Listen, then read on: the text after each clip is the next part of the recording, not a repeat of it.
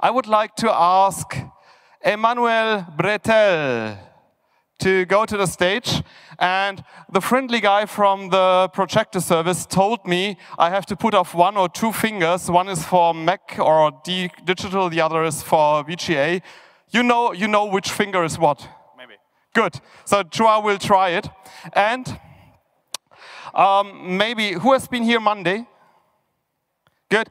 Um, uh, you remember that uh, joke with the three uh, logicans going to a bar? Yeah, somebody told me there was a major bug in it, and he was totally right. Uh, that bug, uh, that joke was not passable. And now we will have quick service prototyping, and later we will have the bug resolution. Before we get uh, quick prototyping, I need Peter, Peter Victorin. You are, are you Peter? No. He is Peter, good. Okay, now please a big hand to Emmanuel Bretel about quick service prototyping. Like him on Facebook. Hi, everybody. Um, so I'm going to talk about sparts, uh, which is a library to quickly prototype services and basically help you into implementing things more than setting them up. Um, so what it takes to build a service. Uh, usually you have to handle command line arguments. You will set logging, you will set up the service, and you will also have your tasks that do the job. Um, you will have to manage them, and then you will have your implementation. Um, in Facebook, we love Thrift. We use it everywhere. Um, and this is what it looks like to make a simple service, kind of. Um, handle arguments, set the logging. Um, here I create my Thrift handler and uh, the Thrift uh, transport and I start the service.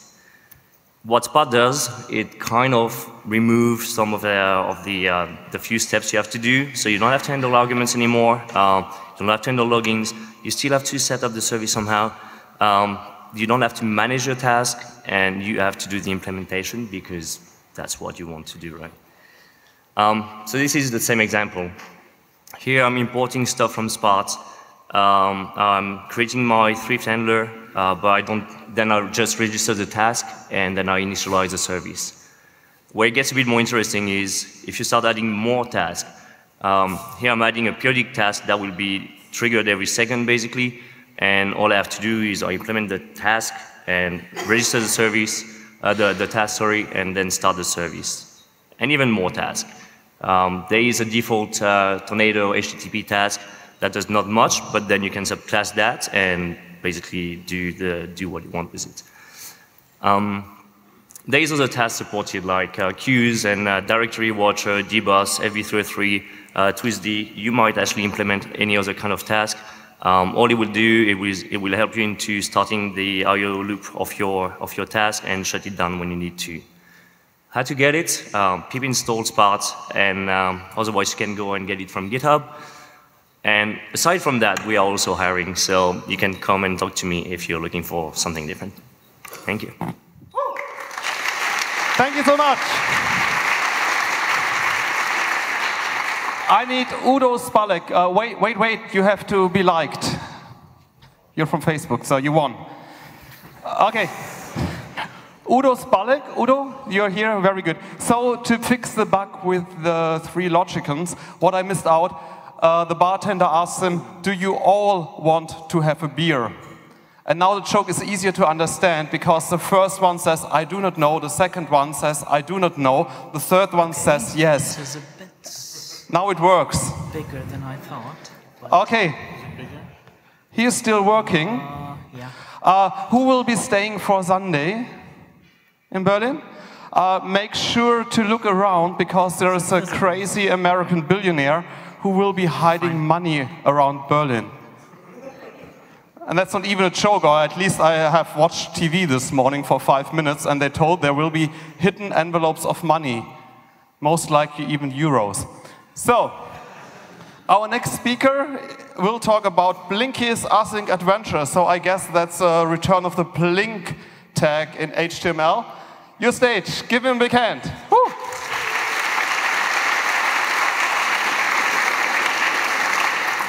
Hello, uh, actually Blinky is this little guy here. Uh, he's blinking, Uh, and here's Blinky source code. It's nothing complicated. There's some delays in a loop. Uh, and now Blinky's first nervous in front of this whole crowd, and secondly sad because he doesn't have any friends. Uh, how do we fix that? We can use the threading module because threads are easy, right? Uh, okay, this is different screen than I tried with. Okay, so uh, the only thing that changed here is there's a different function to print the blinkies. It's you know an external function there. Uh, we make more blinkies in a list and then we just start them and they're all blinking happily.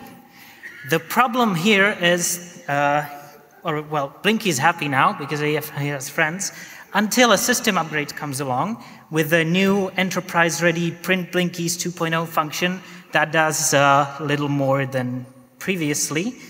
And uh, we have trouble because all these blinkies are trying to print themselves uh, well, print all the blinkies, so they're overwriting each other's lines, and it's just a huge mess. And we should use some locking here, but you know, this is a problem that you know, a library changed, we don't have control over it. Uh, so you know, that's a problem. So what we do, what do we do? We look at what Node.js does, and we use callbacks and futures.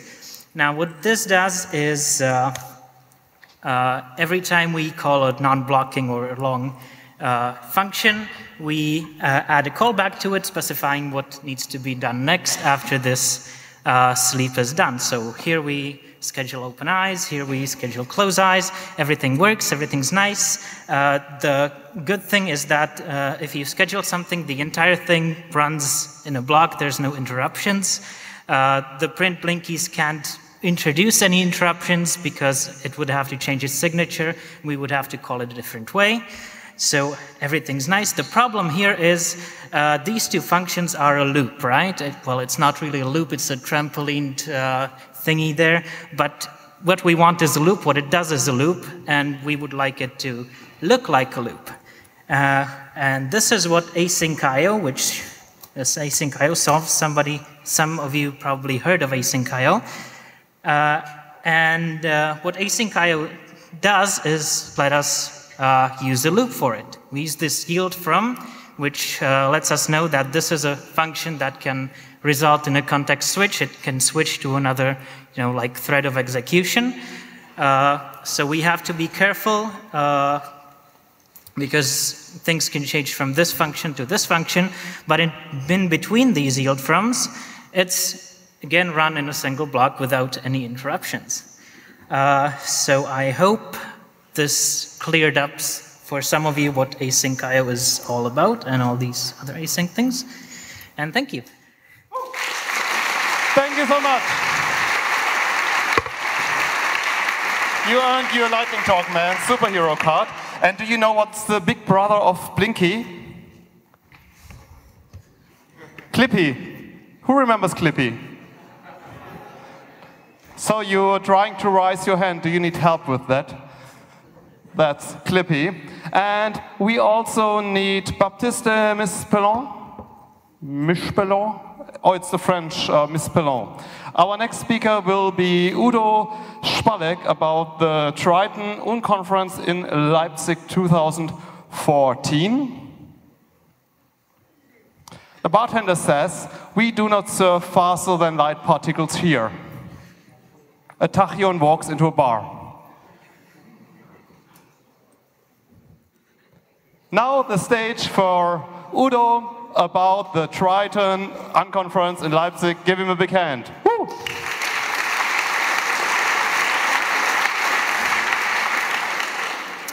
Hello, my name is Udo Spallek. I come from uh, the Tryton Foundation, and I would like to invite you to the Tryton Unconference in uh, Leipzig. It's a town nearby, uh, Berlin, on uh, one hour of the way, uh, 2014, 1114. And we are talking there about the Tryton framework and other stuffs, functional technical details. there are users, developers, and so on. You may ask, um, what is Tryton? Because it's not very known, because it's just a small uh, Uh, it has just a small domain of use. First, for the name, we come from far away from planet Neptune. Um, one of the biggest uh, satellites is Triton with I, and we name our um, our applications in the Tryton framework all with uh, names from uh, the satellites of Neptune. Tryton looks like this. You can see three clients. Uh, on the right side, uh, you see a GTK client. Uh, in the middle, you see uh, some um, some web client, some uh, prototype of a web client. And on the left down, uh, you can see a client uh, which is uh, for Python, a library.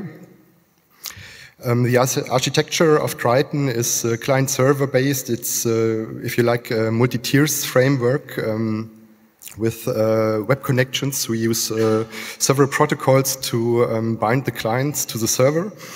Um, we use uh, usually for, for persistence uh, PostgreSQL or SQLite. Um, and we support a little bit MySQL, but it doesn't work very good. Um, one special thing is the module tree uh, you see on the left uh, on the bottom. There, um, all functionality in the system is served uh, by modules, and uh, we have good inheritance in the modules, so you can build upon other modules your own modules for your special things you want to do. The special things you want to do um, with Tryton is usually something like uh, accounting and invoicing, uh, sales purchases, inventory stock, um, manufacturing resource planning, project management, and uh, party relationship management, which is a little bit bigger approach than um, just customer relationship management. So it's a business-related framework. Who uses Tryton? Um, the most prominent user of Tryton uh, uh, is uh, GNU Health. It is um, a medical uh, record system. It uh, provides a hospital information system. And for the future, it will provide a health information system because um, Jamaica decided to use GNU Health for um, organizing and managing their hospitals. This is one view of an earlier version of uh, GNU Health. You see a patient record uh, of a person, and you see it's uh, just the stuff you want to put in when you are a doctor and uh, you want to see when uh, you have a patient in front of you. Just install Tryton, use uh, your favorite distribution. Um, you can just install it, but you can also use PyPI, source packages, or whatever you need. So I invite you again uh, for the Tryton Unconference. Thanks. Spallek über die Tryton Unconference und er vergisst seine Superhero-Karte, sein Verlust. Anton, I need you on stage. Anton Tyurin. Are you here? Anton? You're here, very good. Our next speaker will be Baptiste Mispelon about yet another conference announcement. And he's adequately ready? Yes. Okay, give him a big hand for yet another conference announcement. Baptiste. Thank you. Hi everyone, like I said before, I'm Baptiste. I'm one of the Django core developers, and I'm here today to uh, announce you yet another conference. I hope you're not bored of this. So first, I'm going to tell you a, bit, a little bit of the story behind this conference. Last month, I was on a train in Italy back from another conference. I was with my friends, uh, Mark, Daniele, and me. We were all on this Italian train, so we had a lot of time to chat. And we were thinking uh, about Django, about how the Django, the Django source code is a bit complicated, and there are some parts that only a few people know about. And uh, when we try to uh, get other people to contribute, we often need to review their code. And if their code touches uh, these parts that we don't know about, it makes it really hard for us uh, to accept it or reject it. So we are looking for a solution uh, how we can get this knowledge to spread inside the, the Django team, but also inside the community. So we started thinking, what if? What if we could put the whole Django team inside one room at one time? How would it look like? Maybe something like this. But seriously, we had this idea for a conference, and we called it Django Under the Hood. The idea is this we're going to have a two day conference. On the first day, there is going to be there are going to be eight talks, eight one-hour talk, very technical by prominent members of the Django community and the Django core team. This is the the program that we want to uh, work with, and it's not been fully announced yet, but that's what we're running with. Six heavily technical talk to uh, spread the knowledge that these people have amongst the core team and amongst the community. And I know you're all very curious because this is all very exciting. Where is it? And when is it? It's going to take place quite soon, actually, on the 14th and 15th of November. This is a Friday and a Saturday, and it's going to take place in Amsterdam, which should make it easily reachable for a lot of people, we hope, in Europe and in the whole world. And the reason I'm standing here today, not just to announce it to every one of you, but we're also looking for sponsors. We're looking for sponsors to give us money so we can bring as much of the Django core team and of the Django community to this place at once. We're going to use the, the money we get for travel grants to get everybody, as many people as we can, to this conference. So if, you, if all of this interests you, or if you want to get in touch with us, our website, which we just launched yesterday with the help of the awesome Olas, is djangounderthehood.com. You can reach us at hello at djangounderthehood.com or follow us on Twitter at djangounderthehood. Thank you very much. Thank you very much, Baptiste. Our next speaker will be talking about the configurable, omnipotent, custom application integrated network engine. It will be Anton Tyurin, and I like long titles that fills the gap between two talks. So, while he's setting up, I set up an email address that's jokes at lightningtalkman.com. So if you think those jokes suck, mine are even better, mail them to me. If you find bugs, mail them to me. And until you mail, give Anton a big hand for the configurable, omnipotent, custom application integrated network engine. Anton, your stage. Hello. Uh, my name is Anton. I work at Yandex. Uh, three days ago, I introduced you one of our open source project uh, named the Elliptics, and today it's time to another one project. Uh, it's project named Cocaine, and it's uh, application cloud platform. Uh, it's platform as a service, and this name means nothing. This name is just a name, and I hope that each of you will see a technology behind this name and not only a name. So, we started to develop uh, Cocaine at Yandex uh, two years ago to solve problem with unifying our infrastructure. As uh, some of you could know, Yandex is quite large company and uh, there are about hundreds of different projects uh, uh, in Yandex. So it's easy hard to, it's quite hard, sorry, to maintain these projects. so we started to do this awesome thing. So, uh, five minutes not enough uh, to describe you, to introduce you all features of our platform, so I try to introduce most important of them. First of all, uh, Cocaine has a pluggable architecture, and each component of this platform is plugin. Uh, when it comes to storage, for example, uh, it's used to store your code, to save, uh, to store applications of your settings, and uh, it is provided as a service uh, for read and write uh, for your applications. We use Elliptics.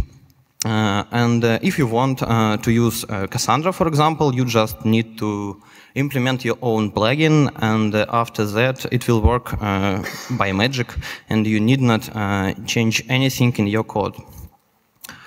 Uh, we have automatic uh, load balancing. We use IPVS to communicate our well-known entry point to the cloud with uh, backends. We have all information about uh, size of queues and each uh, worker of your application in the cloud. So we could spawn more workers for you if load is loading, is growing now, sorry. And if there are a lot of workers in idle state, we will kill for you. Uh, of course, we have isolation. Uh, it's based on Docker technology. Thanks for Docker team for that awesome thing. Uh, we support um, any language, of course, uh, but we have frameworks only for seven languages, uh, Python, C++, Go, Ruby, Perl, uh, Java, and Node.js. Sorry for the last. And it's easy to write your own framework framework uh, implements I.O. between uh, core of platform and your worker. Uh, and uh, for example, Python framework is written pure Python, and uh, it's easy to maintain, it's easy to explain to somebody, and it's easy to understood, and it's really necessary uh, to write frameworks on pure language. Flexible protocol, uh, we um, don't use HTTP in our platform. We have our own protocol. It uh, supports streaming, multi. Um,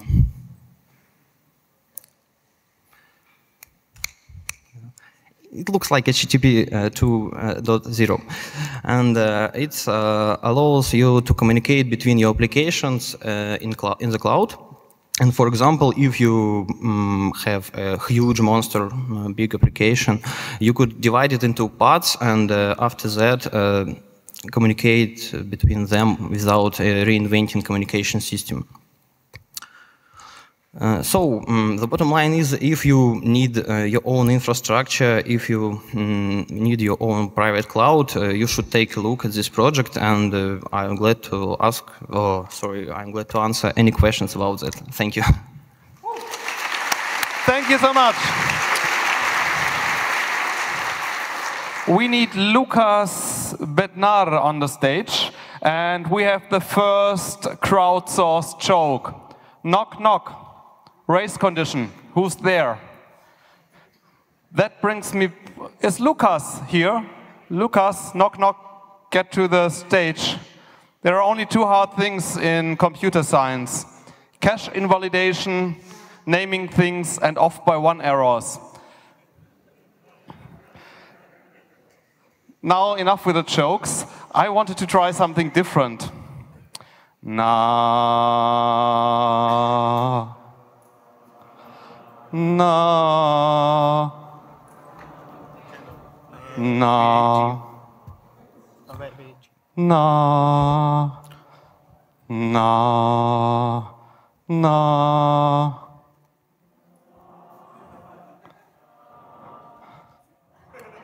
Woo! It's shamelessly stolen from Bobby McFerrin. And he was telling the story that it worked in every culture. So I was thinking, will it work in programmer culture? I have to test it. And thank you so much for being part of it. You remember Pavlov being in a bar, the doorbell rings, and he says, Oh shit, I forgot to feed the dogs.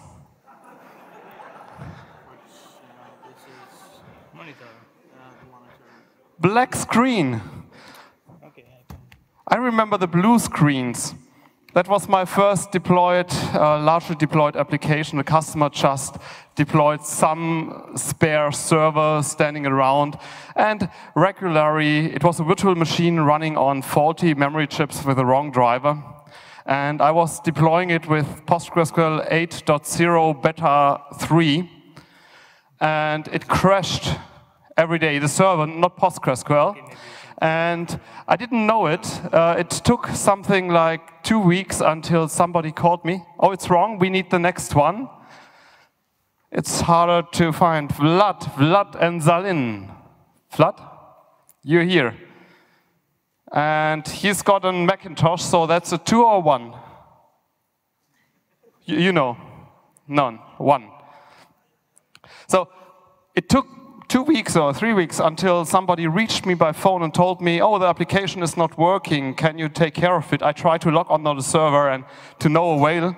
I reached the system administrator and he told me, oh, if I would always call you when the server blue screens, you would have a bad time. And there was running a beta version of PostgreSQL, which uh, nowadays is uh, discontinued because it's unsupportable but it never lost any data. And what did Vlad and Kalin at EuroPython give him a big hand for his story and whoo, don't start yet. I need Abraham Martin to move to the stage. Very good. Now you can start. Okay. Hi, I'm Kalin. There is Vlad, my colleague and friend. And I'm going to talk uh, about what we did at EuroPython. It starts at the party, like everything starts at the party. but there we kind of did the party of our own.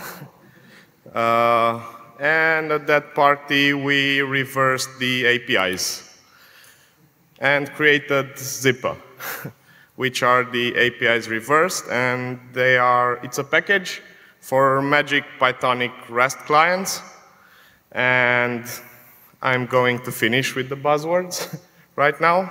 So what you can do?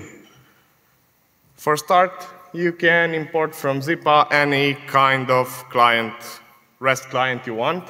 Like here I'm importing the GitHub API. Under the hood, it magically transforms your import into a client. It translates that api-github-com into api.github.com. And you can do, uh, you can get resources like this, very simple. It translates gh.user into slash user automatically. And you can print the login name or do whatever you want with it. You can easily create and delete stuff like an, a GIST. Uh, what's the most awesome feature? It supports simple iterators. You can iterate throughout a resource, and it follows the link header and actually iterates through the entire collection. And it also supports filtering those iterators, so you can iterate through all Django repositories sorted by creation orders, by their creation order. Everything it does, it's not uh, hard-coded into the client, so it's a general purpose. What, in this uh, example, it's not that we implemented the GitHub client. We just used Zipa to create a GitHub client. So where to use it?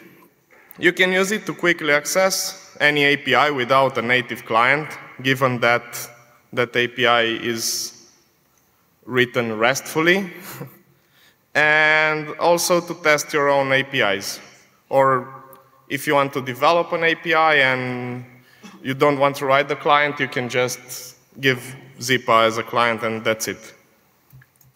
We want to thank uh, Claudio Popa, David, Daniel Haler, which contributed already to this project, and also the Hacker Fleet. We just launched the pip package from the boat yesterday. Uh, and you can join us tomorrow. We want to make it past the Python 3 tests. Right now works only on Python 2. And we also need to write documentation and examples. And that's it. Thank you.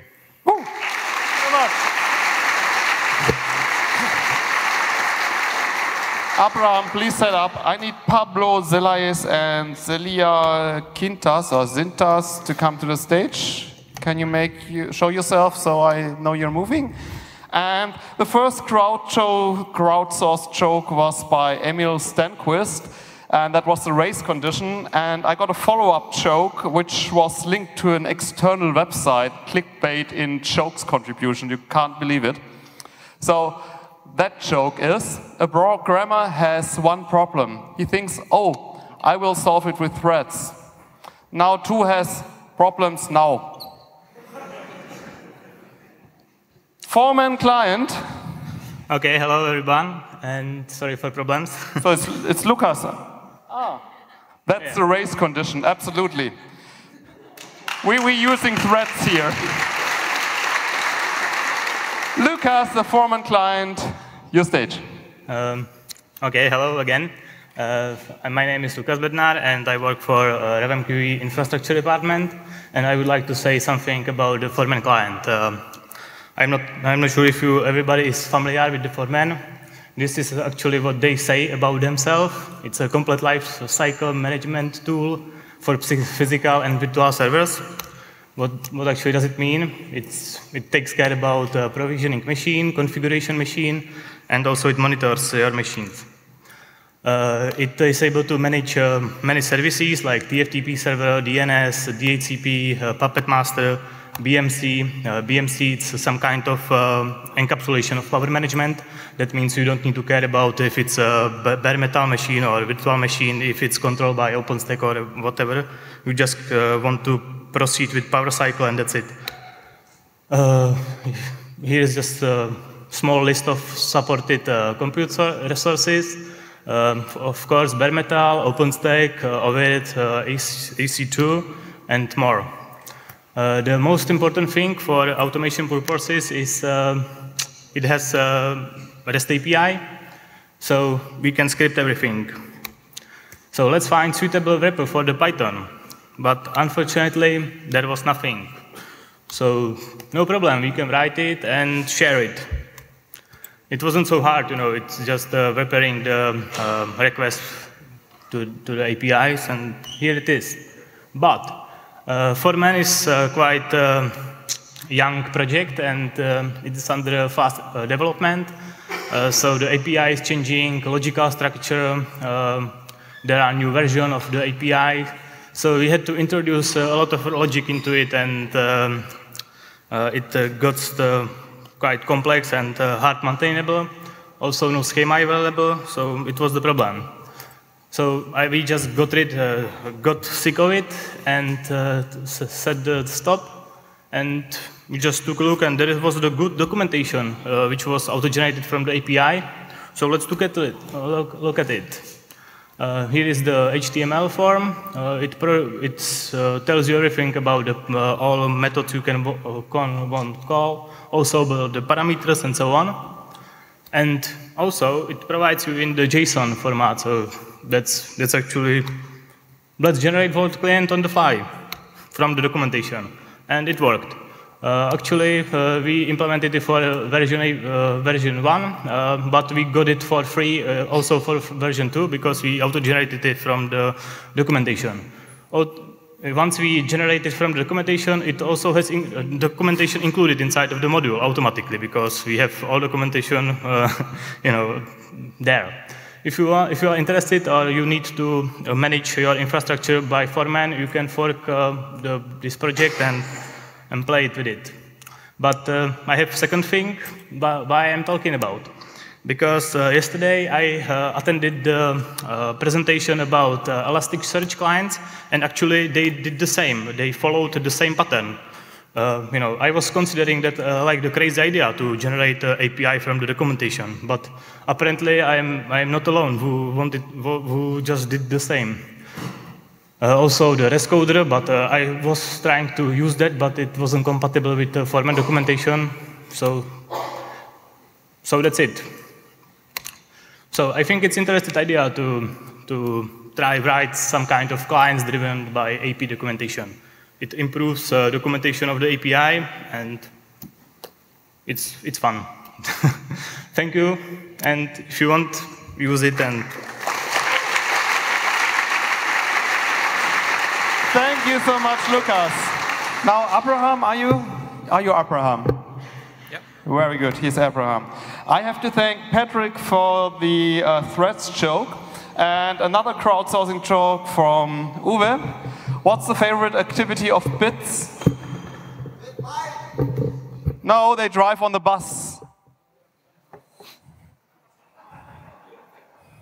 So if you have other crowdsourcing jokes, uh, sources, jokes about crowdsourcing, you can send them to jokes at lightningtalkman.com. You can also send jokes that are not about crowdsourcing. I'm crowdsourcing jokes to jokes at lightningtalkman.com.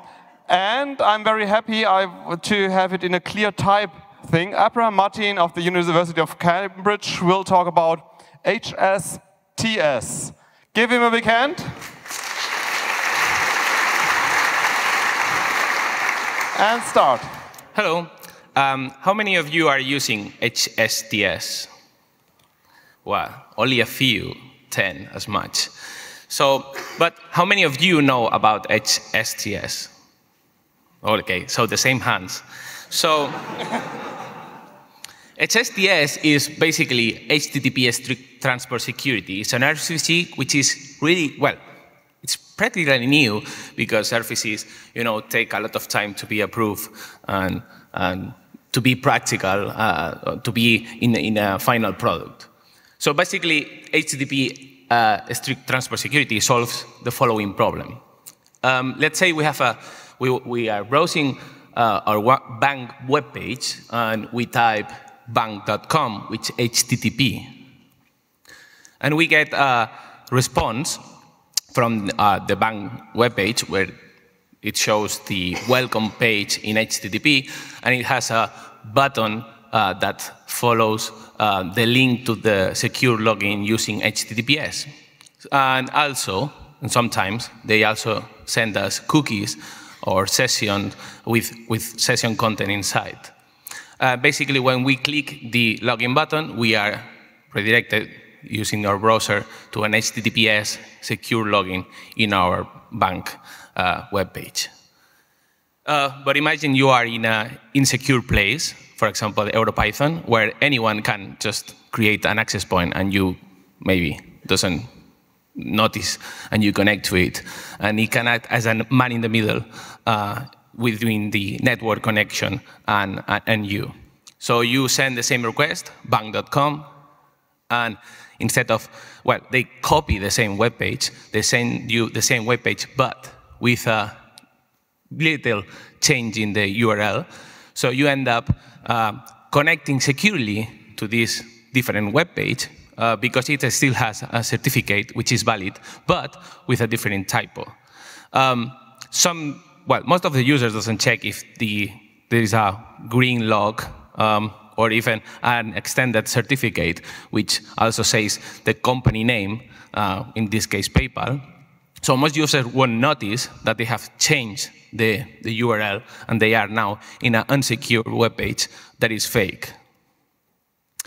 And even when you start an HTTP connection, you end up uh, sending the, well, the web server may end up sending the um, the session uh, cookie and other cookies through HTTP, although you later connect to them using HTTPS.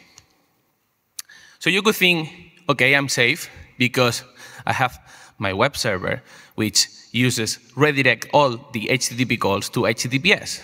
But if you have man in the middle and you send the same request, the man in the middle uh, also can send you an HTTP redirect to uh, a different uh, uh, a different URL, and you won't notice. So at the end, you have this configuration, but the man in the middle does the same thing, and we have the same problem as the beginning, so it doesn't solve the problem.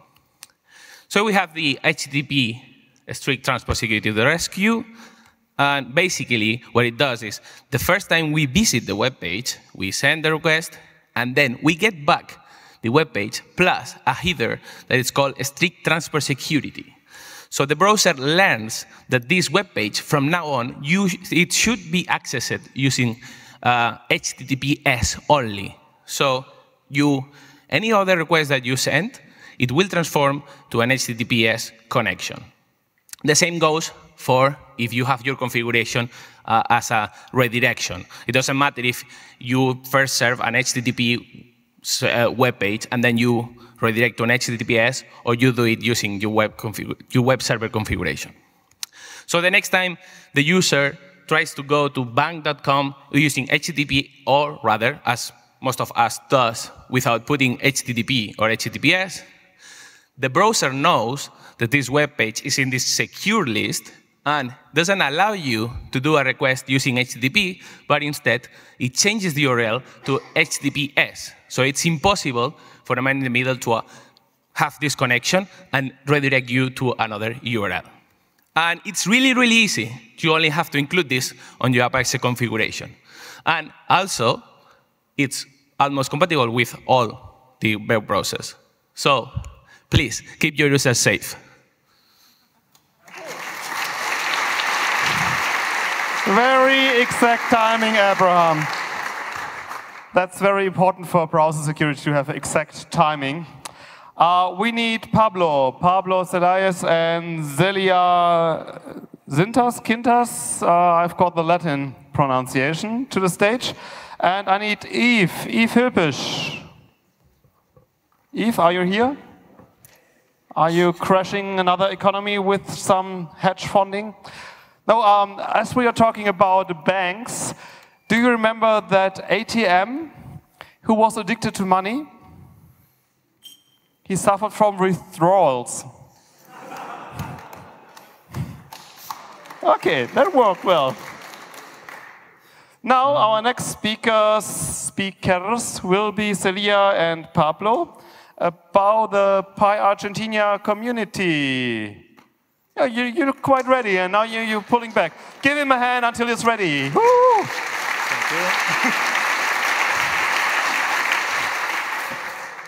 Uh, okay, this is uh, my first time here in EuroPython, I think for Celia as well. Second. Second one, but it's the first time we're going to talk a bit about uh, what the Argentinian community in Python is doing. So it's a bit of a lot, so we're going to be quick. So, well, a, to use a bit of enterprise philosophy, we have a mission and a vision uh, to integrate like the Argentinian Python users to share experiences and to spread the Pythonic word, like among developers, also in companies, universities, and more important, like to, to foster and create like a very active community. Uh, also, like the Python, Python Argentina community is the point of reference for Python use and distribution.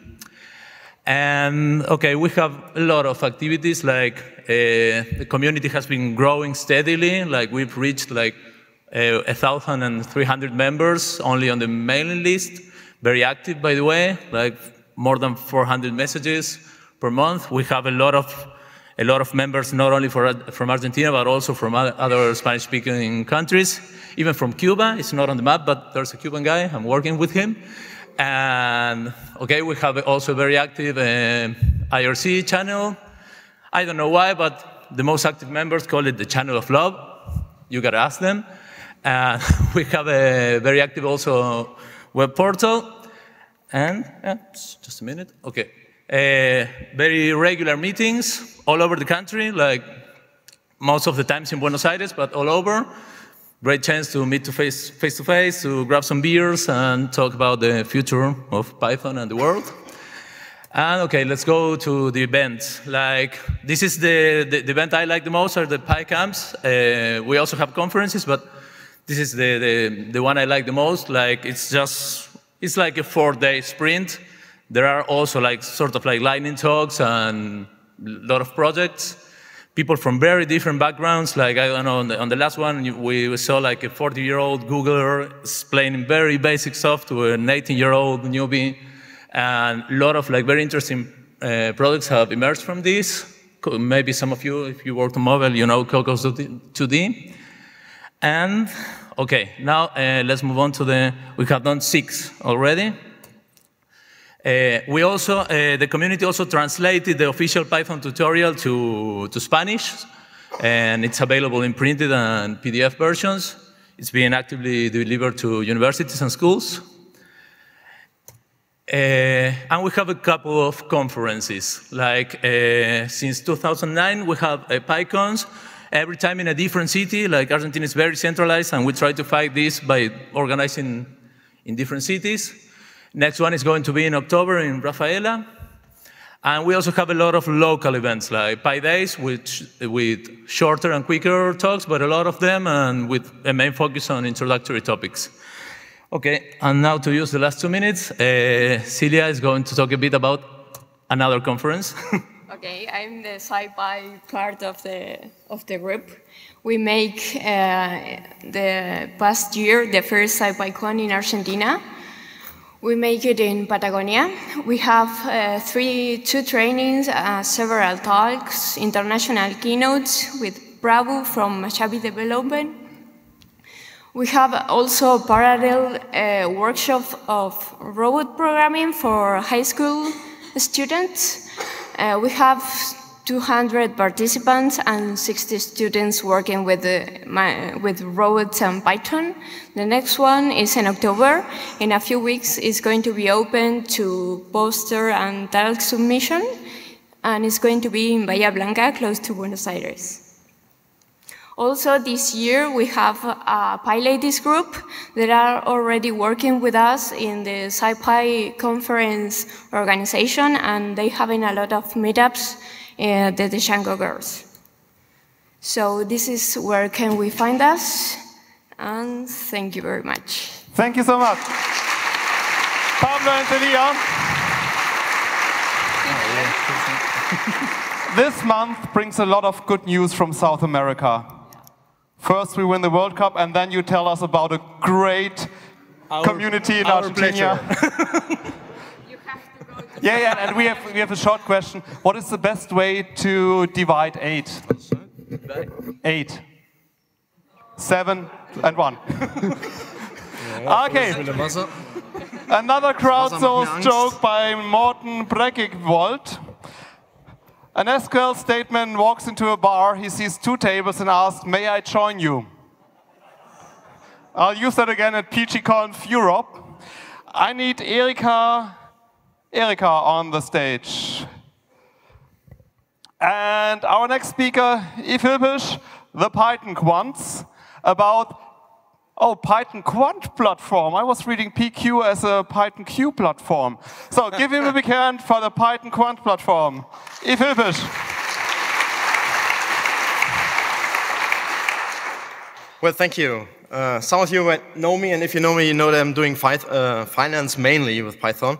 Actually, so this is about a project that we started recently. It's very nascent, but I just want to demonstrate what we've been doing so far. It's about web-based financial analytics and rapid financial engineering with Python, something we do since quite a while, but now we are trying to unify and, uh, yeah, to bring it on a single platform. Um, it has collaborative features, it scales, it, uh, yeah, it is for individuals, teams, and companies, mainly for all those who are doing quant finance, actually. Um, the analytical core components are mainly comprised uh, of the things that we've been doing since years right now. We started DEXISION, uh, what you see on the left-hand side of the slide, uh, a couple of years ago, I think, uh, six years ago. Uh, DX Analytics is kind of a recent uh, thing that we did, and we're now using IPython and all the things that the wonderful Python world offers us to integrate this on a platform. actually, I mean, it's powered by a full-fledged Python stack. Anaconda, I don't know if you're using Anaconda, but if you're not, just give it a try. It's a wonderful distribution by Continuum Analytics. Uh, all the folks from Continuum are around. Uh, you have to try it. Uh, we love it. Uh, you should love it as well, so give it a try. I've been written this book, Python for Finance, for people who want to use Python in the finance space, but still, there are a couple of hurdles to take. And what we want to do with the platform is kind of to make it as simple as possible to implement financial workflows and applications by using Python. Um, the project currently uses a standard Linux server. There's nothing special about that. Python for anything in the back end and jQuery in the front end. The status is uh, we're only eight weeks in, so it's pre-alpha. Uh, we use it internally, for example, for trainings. It's pretty good. Um, and what we have achieved so far is that we have integrated IPython notebook and the shell. We have a file management. We have browser-based shell access to the server, uh, which you can use for Vim editing. I will show this in a second. Uh, Git integration. We have a chat room, uh, user administration under the hood, and this is what we've been focusing on actually, that we started building it from bottom up, actually using Linux and everything about rights and roles and group management and so forth to have kind of a collaborative, scalable environment. But let me come to the brief demonstration. This is how it looks like. Maybe I should do it a little bit Oh, it doesn't show on the left-hand side, unfortunately. Is it my fault? Yes, lots of stuff missing. Ah, here we go. Perfect, thank you. I don't know if I was that. so you see, we, we have been writing a wrapper around uh, IPython, but I will show this in a second. We have a file uploader, file management system where you can upload, where you can download uh, stuff. For example, I can navigate uh, the platform here, for example, to the public folder. Someone else has done obviously an untitled notebook in here. I could maybe try to delete this in a second. Yes, I really want to do. Oh, well, this is not your notebook. You're not allowed to delete that. So it's pretty safe to share stuff and you can be sure that you and only you are allowed to change or to, to delete stuff that you've been providing on the platform. So we have this complete uh, user management and rights and roles stuff in there. You see the shell integration here where you can of course run IPython shell in there.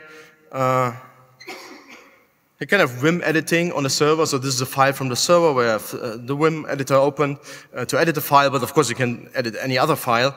You can have the Python shell, of course, again, the Hello EuroPython, uh, simple example, and you see it's all Anaconda powered and it's uh, based on Red Hat Linux server.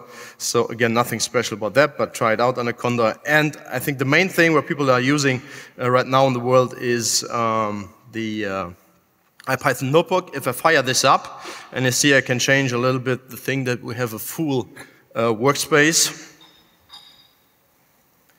Takes maybe a second to load it. I don't know. Oh. I might do it again. I don't know. I did it a couple of times before. There's always when you do a live demo, actually. Um, so don't use this tool for sub-second uh, trading. uh, here, for example, you see another one which opens immediately. I don't know why this uh, isn't firing up. Have the Analytics one. You see here, of course, uh, you can do all the things that you're used to do in, uh, within IPython. Here we're using our proprietary analytics stuff. For example, do complex derivatives analytics here for multi-risk uh, derivative, uh, which is pretty hard to value and see. We can even do numerical uh, stuff, which is uh, very compute intensive and all the things. The last thing I want to show, is actually really the last thing, is that we have something like a chat room where you can chat with people, with colleagues. You can upload files, for example. We have in included something that you have uh, little profiles, a little bit of uh, uh, internal social network. And what we also have implemented is that you can upload, for example, research paper or whatever, and you can share with your colleagues. Have a look at the PDF file. This is very interesting a new publishing uh, publication which might be of interest for what we are doing. So if you're interested in that, um, actually it's pre-alpha as I said, but what we have uh, done is a, a, a, simple landing page. You can go to quant, quant-platform.com and there on the platform you can register if you're interested in it. Thank you. If it is about the Python Quant platform, while Erika is setting up to talk about Code Week in Europe, I need Remco Wendt. Remco, are you here? Can you move? Yeah, and be prepared. Very good. As we were talking about database jokes, we were very happy that the British Met Office moved all its stuff to PostgreSQL because it's a great database and I love it. On the other hand, I'm not really sure why the British Meteorological Office really needs a database to forecast the weather. now we'll have Erika, and she will be speaking about the Code Week in Europe. Give her a big hand.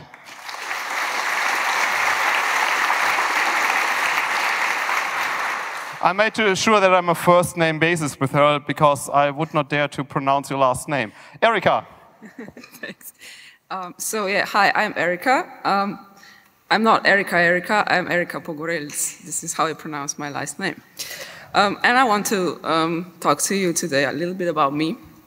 This is my uh, second time at EuroPython. And I work with peer-to-peer -peer university. Um, we are a distributed team, so we don't have an office and we're all about peer learning.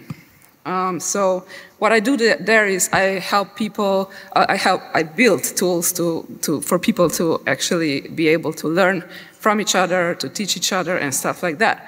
And I use Python all the time, which is cool.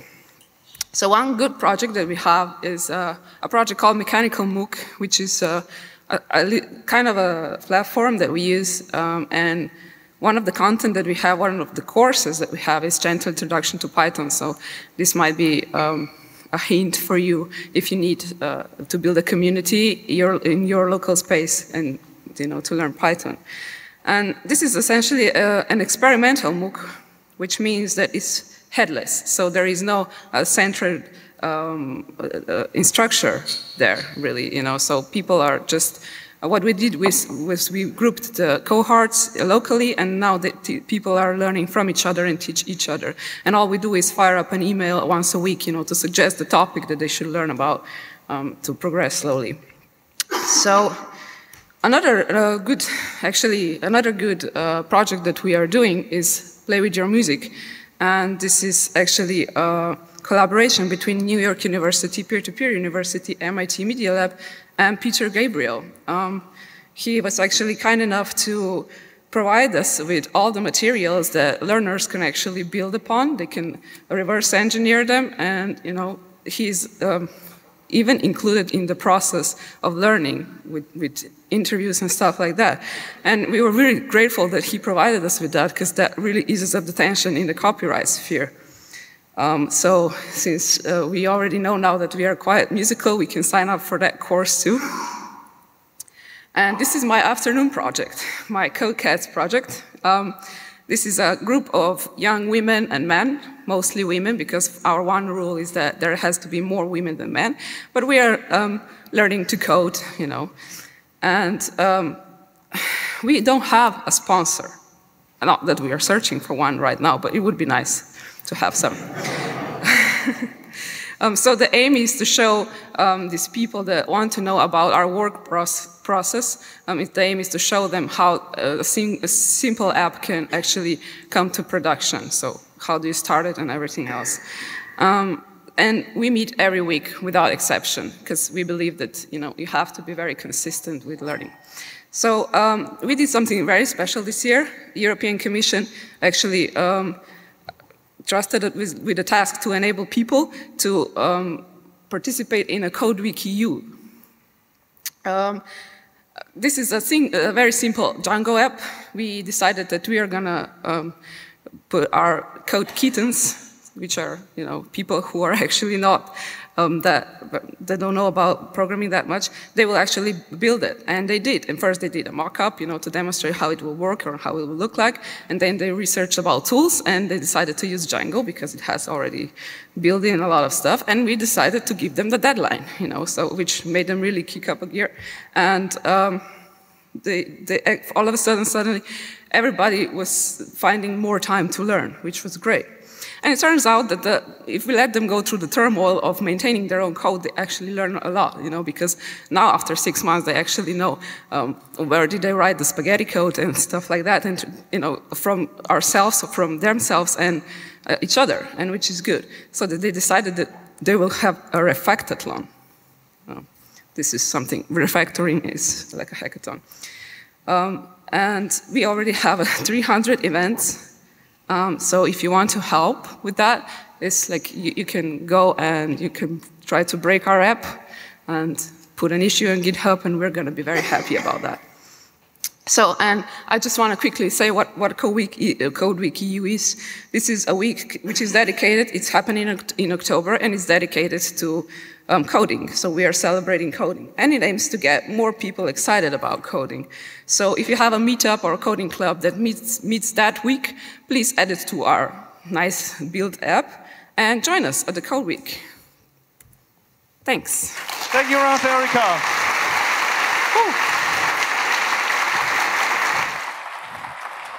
Now I need uh, Remco Wendt to prepare and Christian Tismer. Chris, are you here? Uh, start walking to the stage who you are next. Now, you have no slides, so you can start immediately. No slides, very no, easy. No, very good, very good. Now give Remco Wendt a big hands for being without slides, totally prepared about our beautiful minds.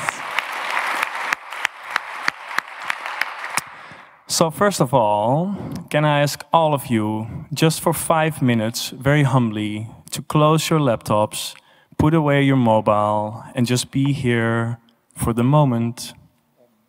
Ta-da! So I'm Remco, this is Ludwig. I met Ludwig on Wednesday and I was telling him that I was going to give a lightning talk. And then he told me, yeah, I really want to have some more podium experience in the future. And I said, uh, okay, why don't you join me on the podium? I'll do the talking, but in the meantime, you get some proper podium experience. Give a hand to Ludwig.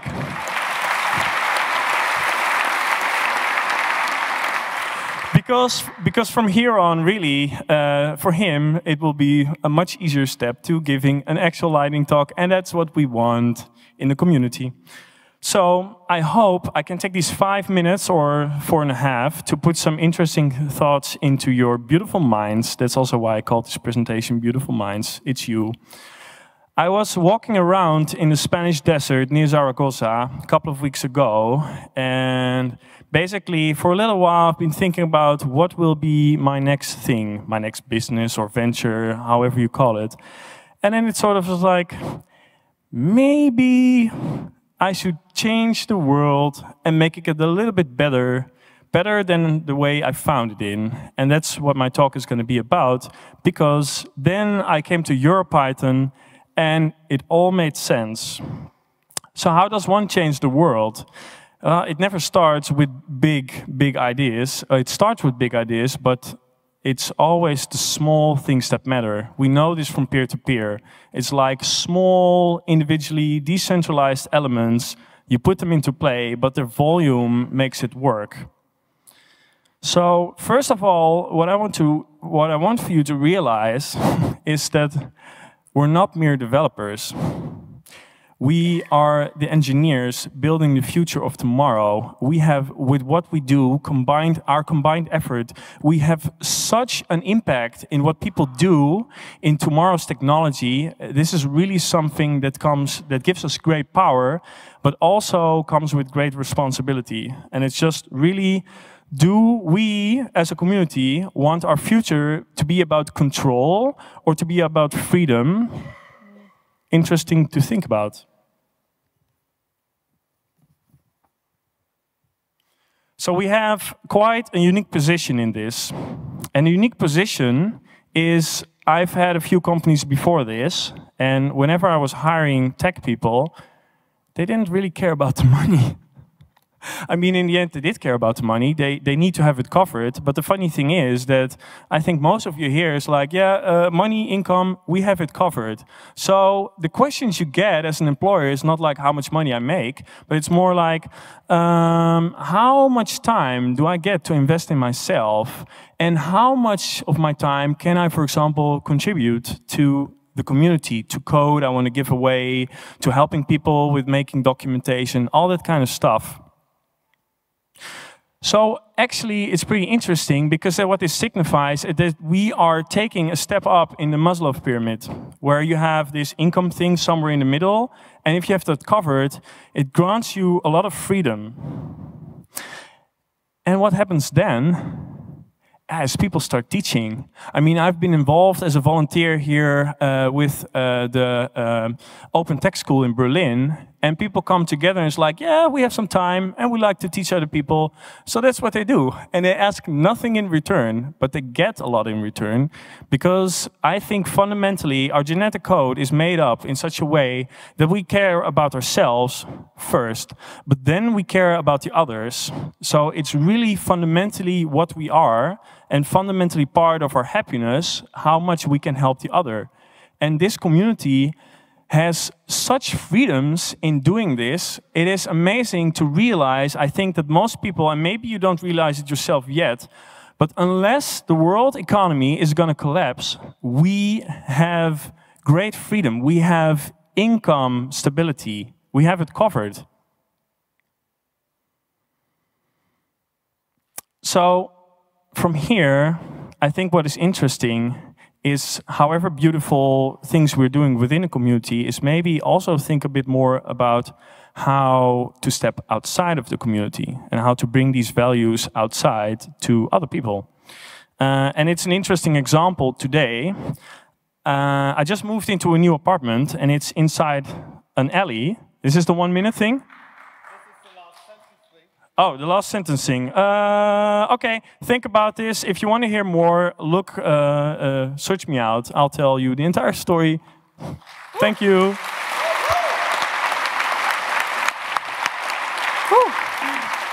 Thank you, Thanks. Remco Wendt. Now, the first good news, we finished the regular lightning talk list, and we are going on to overflow number one, Stackless by Christian Tismer. And I need David Mohr. David Mohr, like M-O-H-R. Are you here? Please prepare to come to the stage. Our next speaker, Christian Tismer, a long-time Pythonista about Stackless best ever, forever. Give him a big hand.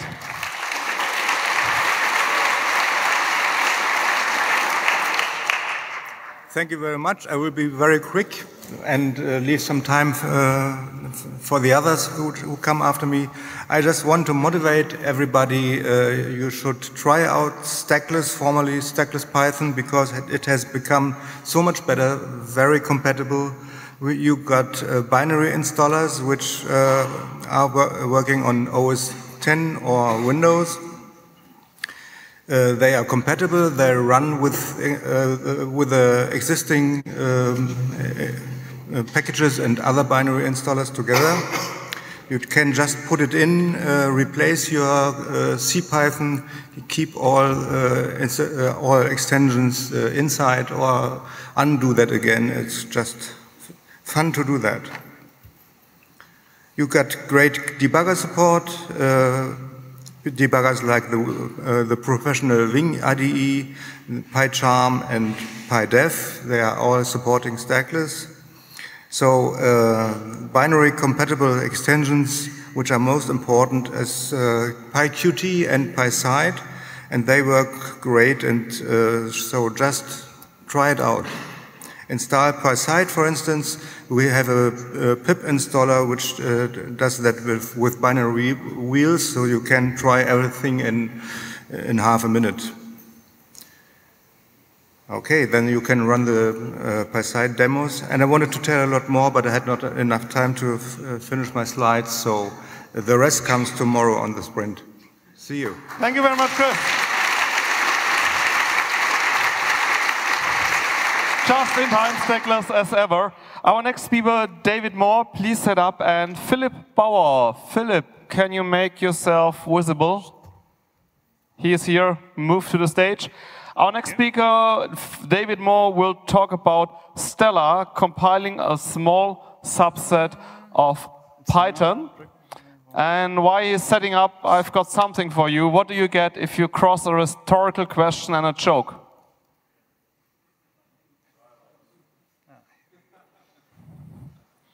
So if you like better jokes, just mail them to me. okay, you're good with setting up? Schrödinger and Heisenberg will be the next joke, which you can hear on another conference. Now it's David Mohr. Give him a big hand about Stella.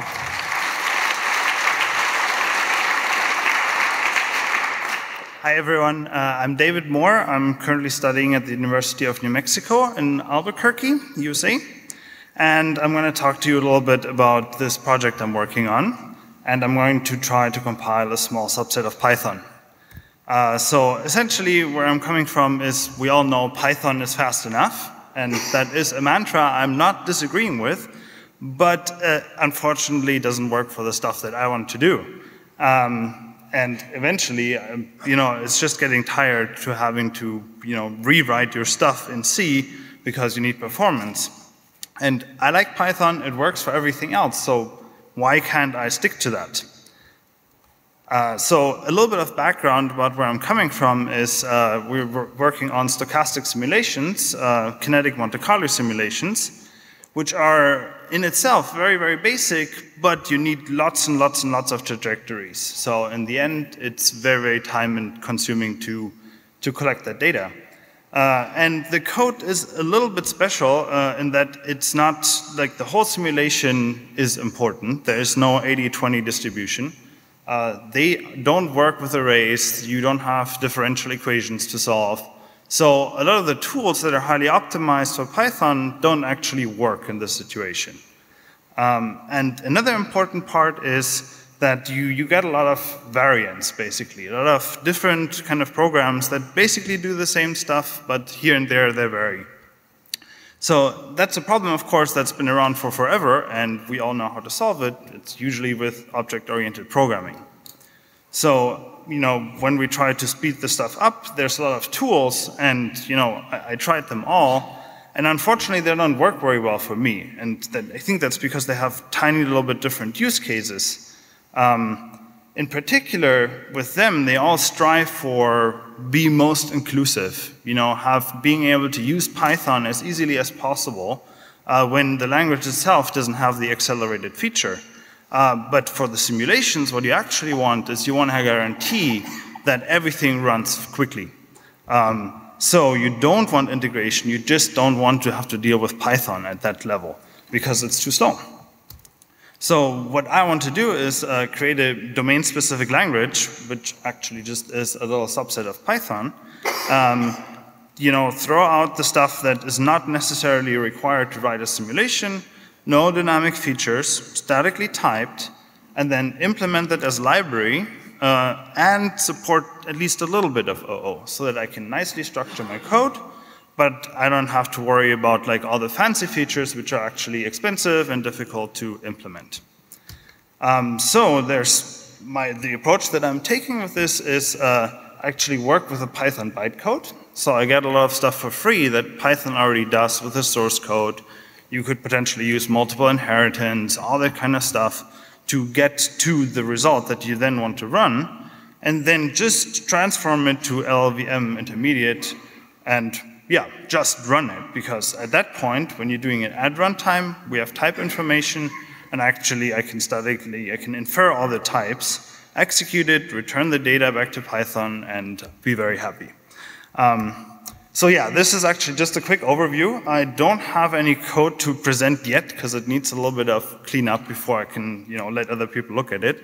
Uh, but it's going to be ready to share soon, and I would love to get some feedback if anyone's still around on the weekend. Thank you. They can. We have two minutes more for a final lightning talk by Philip Bauer. Mosaic, please set up your computer fast. I've got another crowdsourced joke from Alex Wilmer. A python walks into the bar. The bartender asks the python, how did you do that? You don't have legs. so it must have wiggled into the bar. Um, German conference regulations make it clear that we will have to have a coffee break at half past three. So this is, Achtung! So this is our final lightning talk. I just want to tell you a little about some of the features we're planning for the future of Plone. This is work done at the Plone Mosaic Sprint in Barcelona earlier this year. And since I can't type fast enough, I'm going to show you a pre-recorded screencast that I actually didn't do myself. So here it is. Uh, this is about uh, custom custom layouts and a layout editor called the Mosaic Layout uh, Editor, where, which allows you to create content, which uh, Asko Soukka, who made the screencast, uh, creates here, uh, using the latest Plone version, not Plone 5, like 5 is the future, in uh, autumn. Uh, store this uh, theme. This is the Mosaic theme editor, adding a field that was pre-added to the content and adding now static text fields that will be stored on the instance and the theme. Pretty intuitive. This is a rich text editor. And uh, the, th the layouts you can create with this can be re reused either uh, on specific content or whole sections in the site. And they allow you to create, uh, say, landing pages or specific site uh, layouts that you can always uh, use with specific content types. I'm going to skip this part because it's a little boring, which shows you that you actually can save uh, that um, that layout on, say, a event. So events have a new layout, so you don't have to program your view in, in an editor, but you just drag and drop the fields wherever you want them, set these uh, stored views as default views for the instances, and there you go. Uh, the second feature is, um, okay, I was too fast, can't remember the title, themed layouts, yeah. So here we are creating a new content type with Dexterity, uh, which has the layout support enabled. So this is a default feature of Plone. We create a new content type, it's a schema, it's a folder, has the layout feature and navigation root. And this allows you to have a subsite in your Plone site that has its own theme. So here we add a new uh, object, an instance, which is the subsite with the already uh, enabled editor, uh, the Mosaic editor. Now we copy content from the default Plone site to this new uh, container that we added. And here we set a theme, which is a bootstrap theme. Now, and now we edit that bootstrap theme with the Mosaic editor and add static and dynamic content to that. And all the content that we copied to is there and also uses the same theme. So these, the theme is inherited and can be overridden by different uh, items. This is another theme built in And you see you can pretty easily edit content. This is kind of the future of content layout, prototype editing, uh, which you can actually really give um, your content editors. Uh, I'm going to finish here. So, yeah. I think that's pretty awesome. This will land in Plone 5.x, I guess 5.5, 5.1, 5.2, uh, sometime next year. We're really actively working on it, and there's a product called the Inter uh, Plone Intranet product, uh, which will rely on this technology heavily in the future. And um, just one more thing, uh, Nate's just created a option to have free, like zero euros, Plone hosting on Heroku we will uh, announce that after the sprint. Thank you. Thank you very much.